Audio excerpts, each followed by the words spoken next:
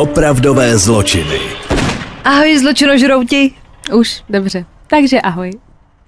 No, Je- počkej, tak ty děláš, ale jako by si byla zaskočená, ale... Já jsem byla zaskočená, že si ještě tady tak vydechuješ, rozmýšlíš jako vždycky. A, na, a najednou, veď? A najednou je to tady. A ta najednou. holka věděla, co chci říct. Takže ahoj. Ahoj všem. Eh, dneska to nebudeme zdržovat. Nechceš to Adem- zdržovat? Má, máš něco na zdržení? Přemýšlím, jestli mám něco na srdci, co bych vám chtěla říct. Dejte nám vědět, jak se máte. Jak zvládáte tuhletu covid dobu. To by mě docela zajímalo. Zatím je to ještě dobrý. Klepu, aby to tak zůstalo. No, takhle je pravda, že možná tento díl budete poslouchat až po volbách To je a pravda. v tu chvíli už spousta věcí může být jinak samozřejmě. Jako zatím je to takhle v pohodě. Já teda musím říct, že mě začalo vyhovovat to, že se zavírají bar- bary ve 12. Protože prostě mám útrum. Já A musím jít domů. Já jsem včera, teď to chci říct, včera jsem jela domů od svých rodičů z Vysočiny a jela jsem přes to město a odjížděla jsem, nevím, třeba ve tři čtvrtě na deset, jo. Hele, a po tom městě probíhala taková ta situace, kdy jako, na kterou jsi zvyklá třeba ve čtyři ráno. Jo. Že se ty lidi podpírají, už jsou všichni jako pod obráz, ale hele, tři čtvrtě na deset, teď si představte, že přijete domů a jak se vyspinkáte dobře. Já jsem právě byla teďka, kdy to bylo v pátek jsem byla a já jsem byla v divadle a pak jsem šla ještě za kamošema do baru a já jsem tam přišla v 11. Já jsem to do sebe klopila, ty džiny s tonikem. A já jsem to fakt jako exla a říkám, a hned další, další, protože ve 12 se zavíralo ano, prostě. spěcháme, spěcháme Takže jsem to musela rychle. stihnout. Člověk musí prostě, anebo začínat, to už měla začít v tom divadle právě. Tam jsem si dala, prosím tě, tam ta zase byla dlouhá přestávka, takže na dvě deci vína jsem měla pět minut. Takže Teď už se pofer. podle mě bude pít úplně všude. Jo, Tak aby nás teď někdo nenatknul, že nabádáme k alkoholismu, to vůbec tak samozřejmě. poslouchej nás samý dospěláci, ne? Snad. To je fakt. A pokud jste děti, tak ne, ne, ne. Ne, ne, ne. Ne, Gin ne, s ne. tonikem až po 18. tak, Barunko, co pro nás máš? Já mám pro vás Matěj, jmenuje se, já nevím, jak to skloňovat vždycky, Matěj Čurko. Mm-hmm. A hodně si o něho lidi psali. A, A- naše slovenská kol... Ten smích ze záhrobí, to je vždycky její. naše slovenská kolegyně se sněje, abych se chtěla za co jsem řekla špatně. Matěj Čurko? Ne. My se teď smějeme, když to říkáme správně všechno. Prosím, takže je to dobře. Matěj, uh, Matěj Já Čurko. už jsem se lekla, že to byl nějaký její příbuzný třeba. jako, tak Kdyby to byl její příbuzný, tak asi bych s ní nechtěla být zavřená v jedné místnosti teď. možná bys nám měla Zuzko něco říct. Než to teď rozklíčujem. Těšilo nás. Hele, a to je divný, ona dneska přinesla nějakou pomazánku, že si máme nabídnout, už si měla. Ne, ještě ne. Ne, já vás obskakuju, holky, a vy jste to jako neocenili. Ne? Hele, My to zbláznem. Takový kyanit v tu nějakový pomazánce, jako když nejdeš. Mm. No dobře, tak pojďme na to. Matěj Čurko teda. Jako už jsme tady měli vtipnější jména, ale... Jak se jmenoval ten ukroš? Pi, pi, pi, pi, Pičuškin. Pičušky. Pičuškin to Pičuškin byl. byl geniální. Pičuškin byl skvělý. Tak Čurko je ještě dobrý, prosím No, vás. jsou klidní. to zase bude hezký den dneska. Takže, já půjdu na to, jo. No to, pojď, pojď už. Takže budu mluvit o případu kanibala Matěje Čurka.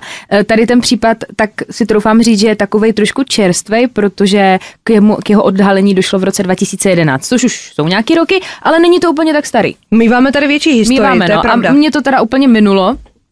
Nevěděla jsem, že tam máte na Slovensku kanibaly, ale asi jo. Uh, takže jdeme na něho, jo. Uh, byl to teda Slovák a co se...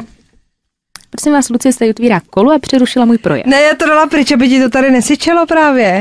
tak jo, takže může... A aby to nebyla reklama, tak je to jenom kolový nápoj. Tak, dobře.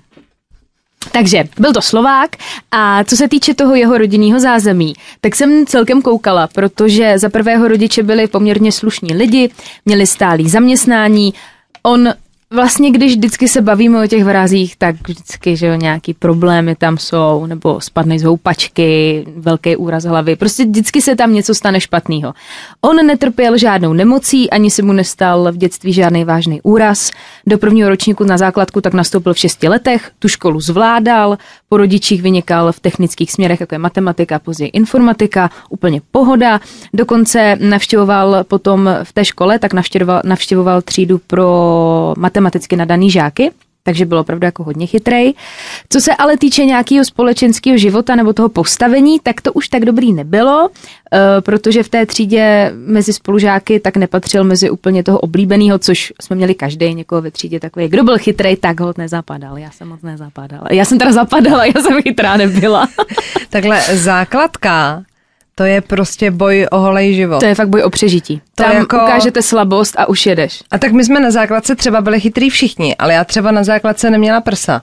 Já taky Takže ne. si dokážete představit, že ta šikana tam asi probíhala. A já neměla ani na střední. A na Gimplu mě pak neměli rádi právě protože jsem nebyla chytrá, no. Aha. Hm. Já jsem kazala ten průměr. Já jsem má takový ten zlatý střed. A naštěstí jsem sociálně zapadla. No on ale ne, ale pozor, nešlo o to, že by ho někdo šikanoval nebo tak podobně, jenom prostě se těm dětskám jako trošku stranil, ale žádná, žádná jako šikana tam nebo ponižování tam jako neproběhlo. Dokonce ve svým volném čase třeba rád jezdil na kole, hrál na kytaru nebo ho bavilo programování. Já když jsem to četla, tak mi to přijde takovej fajn chlap, Jako normální, jako normální, životopis, normální viď? týpek, normální životopis. První problém s chováním. Je to tady. Prosím vás, první problém s chováním tak se vyskytl, když mu bylo 13 let, když nožem napadl svého o dva roky mladšího souseda a způsobil mu vážný poranění. A víme důvod? Nevíme důvod. Tak se Pohádali se. Pohádali. Hm. Pohádali se, měli mezi sebou prostě nějaký konflikt, tak, ho, po- eh, tak na něho vystoupil s tím nožem. Ten kluk byl eh, že ho, převezen do nemocnice a jeho, toho, toho Mateje, tak ho převezli na psychiatrickou kliniku v Košicích. Tam byl víc jak měsíc zavřený a následně byl léčen v dětské psychiatrické léčebně v Hrani. Ty intelektové testy, tak kterým se musel vlastně podrobit, když tam byl zavřený, tak ukázali intelektové schopnosti v pásmu lehkého nadprůměru, měl IQ 116, takže žádný pitomec to fakt nebyl. První taková rána, co se týče, a řekla bych jako jediná rána, co se týče toho rodinného života, tak se mu rozvedli rodiče a ten jeho měl ještě bratra a s bratrem žili společně s maminkou. Taťku teda moc nevídal, ale udržovali pořád spolu kontakt. Ještě žil teda jako s babičkou, že tam s nima žila, ale i přesto v dnešní době spoustu rozvedených párů, takže si nemyslím, že tohle to by ho nějak jako poznamenalo. Ještě navíc, když s těma rodičema udržoval jako kontakt s obouma. Každopádně, jdeme dál, jo.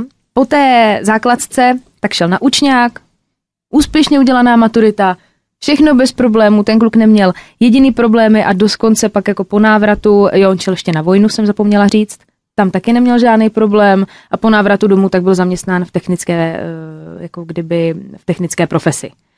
Takže tohle je jeho život. Já jsem teda nenašla jeden jediný vroubek, co by toho kluka mohlo takhle poznamovat, po, poznamovat, poznamenat. Postupně si vypracoval i jako v oblasti IT a dosáhl až na to, že se stal vedoucím IT oddělení v pojišťovně. Takhle žil. Co se A může teď- pokazit? co? Ano, we are waiting. Teď se zaměříme na ten jeho psychosexuální vývoj. Tam už to tak dobrý nebylo, protože odborníci ho viděli jako takový netradiční, protože šlo o to, že on nikdy neprojevoval větší zájem o ženy. Ani v době dospívání, na té škole, nikdy prostě neměl žádnou babu nebo ani kamarádku v podstatě, jo. A po sexu netoužil už vůbec. Což... No tak ale jsou třeba lidi, který to nebaví. No jeho to asi evidentně ne, nebavilo, ale i tak si našel paní, se kterou splodil dvě děti, takže mu ten sex se nakonec zalíbil. A nebo se prostě hecnul. Ne, počkej, ale musíš ne hecovat, já, to- ne, já vám, ne, já vám musím něco říct. Já jsem měla kamarádku, to, že se spolu nekamarádíme, nemá nic společného s tím, co vám teď chci říkat, jo. Ale ta třeba mi říkala, že nemá ráda sex. Prostě jí to nebaví. Nic jí to neříká. Tak jsou prostě takový lidi, ale to neznamená, ale že z vás jako musí být kanibal, že jo? Jo, je, asi jo, jako my to asi nepochopíme, ale jako jsou takový lidi, já to vím, jsem viděla nějaký dokument s nějakým My pánem. to asi nepochopíme. Ale Teď jako nevím, co si tím chtěla říct. poslouchá moje máma, nevím. Ježíš, no jo. A počkej, moje máma taky poslouchá. tak to je snad jasně, jsme zdraví holky a milujeme to, ne? tak, tak teď jsi to vylepšila teda. No, no ne, tak... Jo. do, ne, jdeme od toho, tohle už se nezachrání. Asi už se v tom budeme topit, takže dál, jo, takže jdeme dále. Uh, podle odborníků tak nešlo teda jenom tady jenom o tu sexuální stránku, ale on vykazoval dokonce známky psychopatie.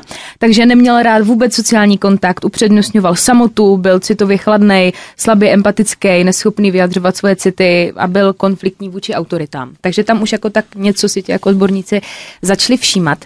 Teď se ale přesuneme do jara roku 2011. V tu dobu totiž slovenská policie, tak na podnět, na podnět švýcarských kolegů, tak začali prošetřovat jednu internetovou dik, di, diskuzi, komunikaci. Šlo o maily a bylo to komunikace mezi švýcarským občanem a neznámou osobou ze Slovenska.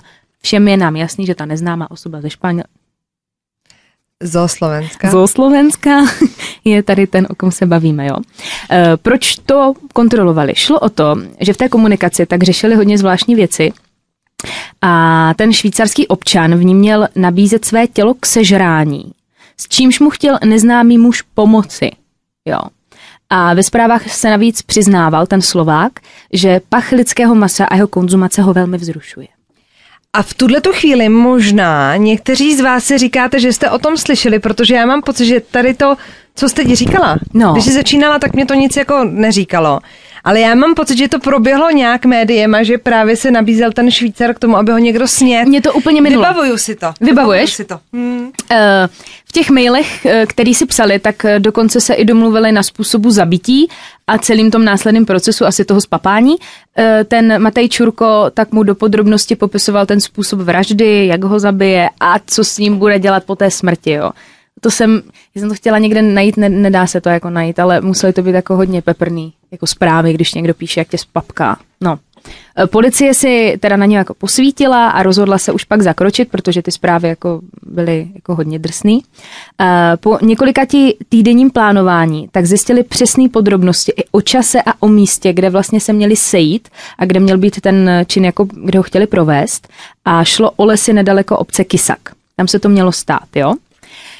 Ten Švýcar, jak se s ním jako domlouval, tak aby měl uh, asi jako jistotu, že, že si jsou jako oba jistí, co budou dělat, tak uh, vedli nějakou jako komunikaci a ten Slovák, aby toho Švýcara ujistil, tak mu poslal několik fotografií svých minulých činů.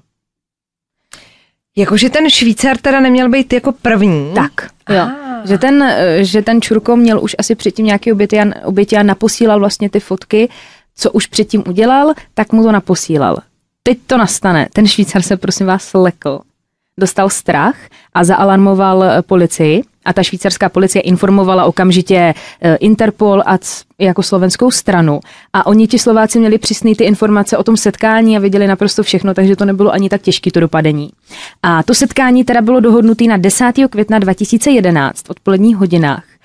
A samozřejmě ta policie byla jako na místě, měli to všechno zmonitorované, všechno, všichni byli naprosto připraveni na svých jako místech.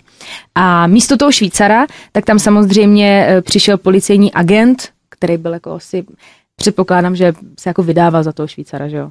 Nešel tam v policejním obleku. A v kolem byli schovaní eh, těžkohoděnci a tady ti lidi byli schovaní a čekali. On, Čurko, dorazil, opravdu dorazil na místo, policie ho okamžitě chtěla spacifikovat, jenže Čurko vytáhl zbraň a na tu policii začal střílet. Samozřejmě policie začala střelbu opětovat, několikrát ho zasáhli a nakonec teda i přes jako snahu lékařů, tak po dvou dnech ten Čurko zemřel v nemocnici. Jo. A na tom místě, když tam byli, tak eh, policie zajistila pachatelů v černý vak, prosím vás, a v tom černém vaku, co si ten Čurko sebou nesl, eh, tak ten obsahoval pilku, nůž, léky na spaní, gumové rukavice, pepř a provazy. Tomu Čurkovi bylo 43 let, teda když umřel. A ještě teda chci říct, že ve spojitosti tady s tím případem, tak ta policie se začala ve spojitost dávat ještě další případy. A konkrétně začali uvažovat o dvou dalších obětech, protože jim do toho začal zapadat případ eh, dvou mladých žen, nebo slečen, té nebylo 21, jmenovala se Lucie, druhé bylo 30, jmenovala se Elena. A po těch holkách se už několik měsíců pátralo a nikdo, ho, nikdo je prostě neviděl, prostě se po nich slehla zem. A ono se vědělo, že ty holky byly asi trošku psychicky, nechci říkat labilní, ale měli takový ty sebevražedný sklony, nějaké jako myšlenky, nebavilo je žít jako co ta rodina tak jako říkala. A dokonce si prý delší dobu dopisovali s neznámým mužem přes internet. Takže to krásně zapadalo. A jak už jsem říkala, tak obě trpěli těma depresema. Takže 220 příslušníků policejního sboru, prosím vás, s policejními psy, tak pročesávali celou oblast nedaleko toho Kysaku několik dní. A, ale těla těch žen se nenašly.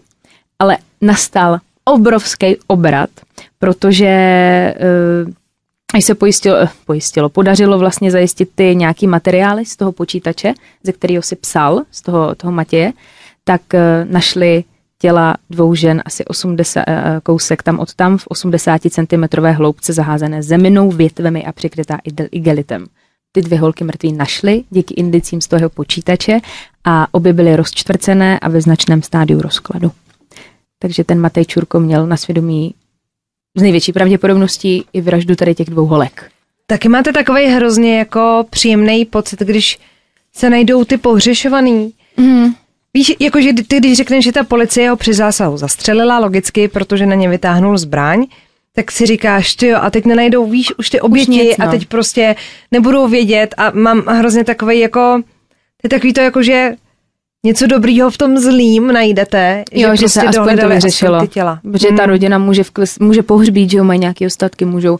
Já si myslím, že už každý asi, když se ti někdo nevrátí, tak už počítáš s tím, že asi živýho nenajdeš. I když se to, i když se to děje. Ale pardon, Slovensko? Rozčtvrcený Ale holky, Pardon, kanibál. no počkej, a Švýcarsko? Jako takhle napsat někomu, Kdo že by- chcete sníst od něj, tak Já být švýcar, tak si jako- život nevezmu nikdy. Lepší by bylo vzít si Švýcara. No to, to by bylo hezčí. Tak jo, uh, já pro vás mám uh, kluka v krabici. Dobře, jdeme na To to. je in the box, jdem na to. Chlapec v krabici by totiž mohl být nazýván takzvaným kriminalistickým pomníčkem města Filadelfie, protože jeho tělo bylo nalezeno teda, jak už prozrazuje ten název celého toho případu v krabici.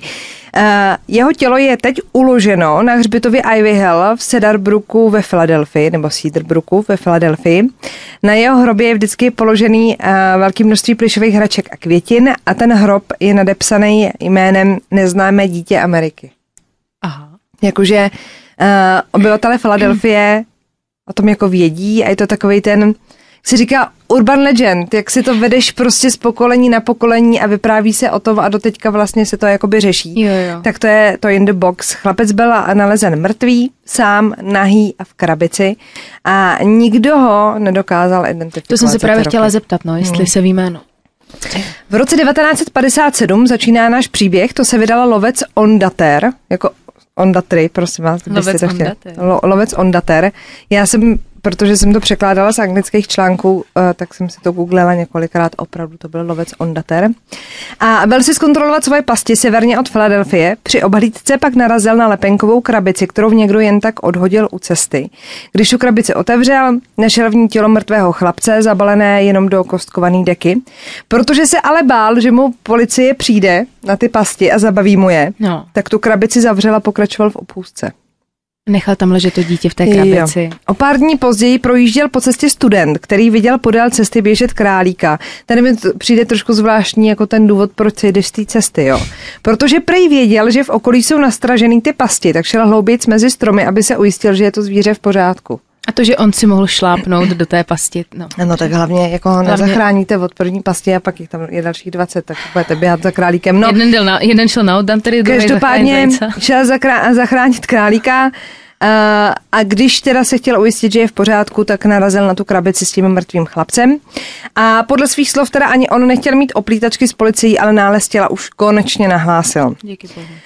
Policie se hned po nálezu těla upínala k tomu, že tak malýho klučíka bude určitě někdo postrádat a nahlásil, nahlásil tak jeho zmizení, takže budou vědět, jako o koho se jedná. Mm. Vypadal na věk mezi čtyřmi a sedmi lety. Jak policie sama přiznala, kdyby byl chlapec upravený a dobře živený, nejspíš by tomu tak bylo. Jenomže chlapec, který ho nalezli, byl zanedbaný a silně podvyživený.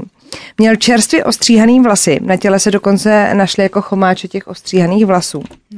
A na těle byly viditelné chirurgické zákroky na kotníku, v rozkroku a na bradě.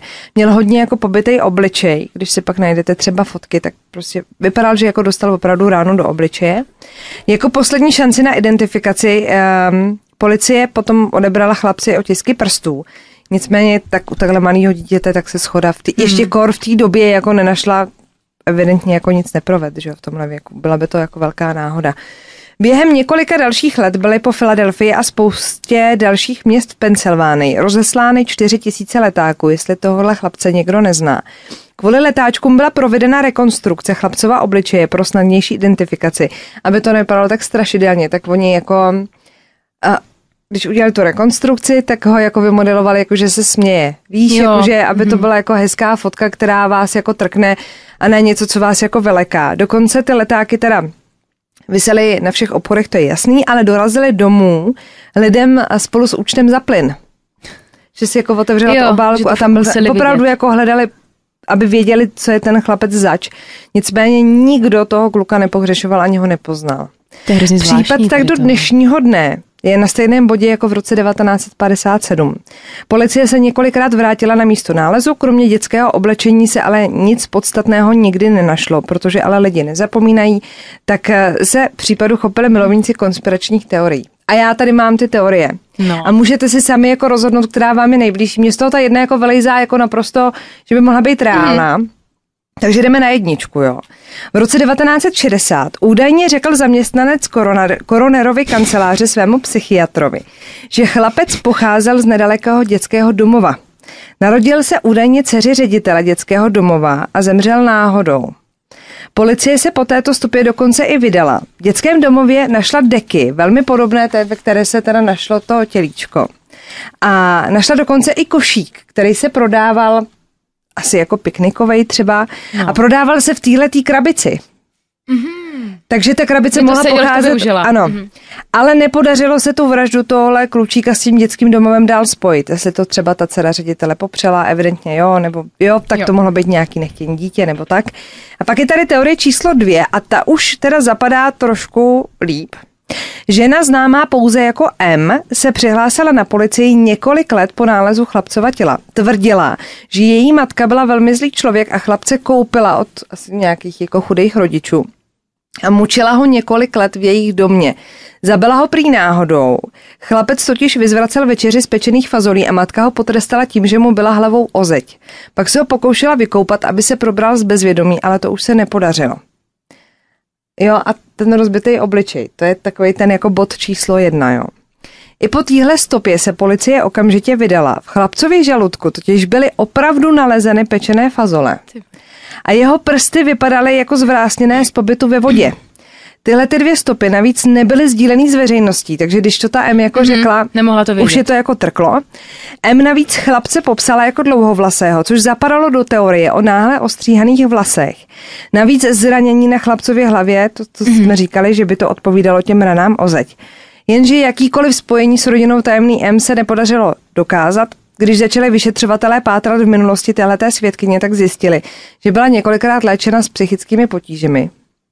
A dokonce ani sousedi a blízké okolí rodiny nepotvrdili, že by kdy viděli jakéhokoliv chlapce v jejich domácnosti. Jenže víš co, jestli tam byl To zavřený je ten klučík jako někde ve sklepě, tak nemuseli Jestli to si ho přivezli vědět. někde v noci, tak toho kluka nemusel A nikdy ty jsi nikdo říkala, že vidět. jsi to koupili od někoho? No, tak to nebudeš přece přiznávat, A, že? a tahle ta M mohla mít psychický potíže, protože třeba ta máma byla nějaká no, jako ale podle mě šílená. teda řekla jako spoustu, spoustu jako faktů, který jako tomu Ale asi, asi evidentně jako chyběly ty přímý důkazy, abys mohla někoho zatknout. No.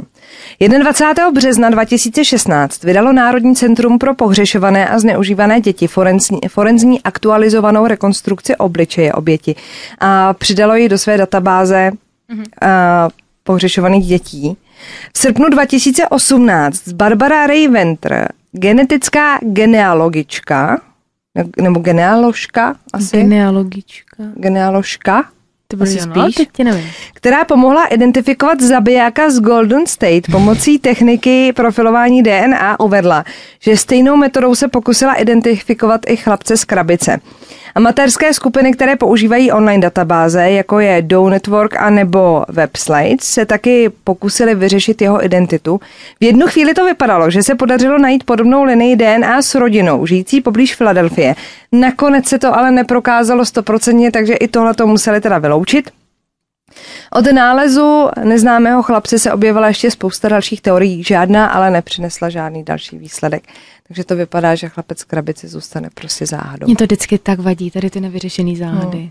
Ale já tady nevím, co máš ty za tu teorii, která by byla nejvíc pravdivá, ale mně nejvíc pravdivá přijde ta s tou paní M. No, no, asi jo. No, no takhle, když si vezmete, dáte si dohromady Rozbitá, to, co, no a teď ty fazole hlava, v tom fazole. žaludku a tak, ale A že říkali ještě, že to dítě nebylo jako evidentně nějak jako dobře živený a že se o něho nikdo nestaral. To že, toho že ho zapadá, evidentně no. jako týrali, takže to bylo prostě... Ale, ale jsou prostě... Tohle já hrozně lituju tu policii, že třeba oni můžou vědět nebo můžou si myslet, že to tak bylo, Ale nemáš ty důkazy. ale nemáš ty To důkazy. nejhorší. No. Abys mohla přijít a někoho zatknout, no. Hmm. Je to takový jako... Ale líbí se mi, že tam je udělaný ten pomník a pořád se na to dítě na to dítě takhle myslí. To je hezký. Je to tak, je to tak. Když už nic, tak aspoň tady tohle. Ach jo, to jsme teda skončili To dneska. jsme teda skončili, no. No, Teď by to nějaký veselý poslání na závěr, viď? že... Hmm. Hmm. Tak jo, tak já jsem si vzpomněla, že by se mohli pozdravit jednu nevěstu. To, je to skok, ale pojďme, no ne, protože nám psala, sle, teď už paní vlastně, No. Že se vdávala. A že byla hrozně nervózní, když se vdávala. Takže si pustila, což možná by to mohlo varovat jejího manžela, zdravíme oba, náš podcast, aby nebyla nervózní v den té svatby. To je tak hezký. To je tak strašně roztomilý. Takže, a že pak říkala, že právě když to jako dá, tak eh, že nám pak musí napsat, tak nám pak napsala a bylo to hrozně jako, Takže to dala a je to dala. krásně vdaná. Je. no a klidně byste nám mohli poslat fotku. Já bych chtěla vidět. Jo, my máme rádi svatby. A vůbec, proč jste nás nepozvali? Já, bych se, já jsem nikdy na sebe nebyla, bych se ráda Já byla nakopala. několikrát a vždycky tam je dobrý jídlo, proč jste nás nepozvali? Já jsem tam proč? My bychom přišli. A já bych se vdávala taky. No tak pro tebe jako pro hlavní pořadatelku už to taková bžunda není. Není jo. Hmm. No, t- ale tak jako jo, a dostaneš prachy a dary a tak. Na ty prachy dobrý. se těším. tak tímto to můžeme ukončit. Mějte se nám krásně. Pa, pa, pa. Ahoj.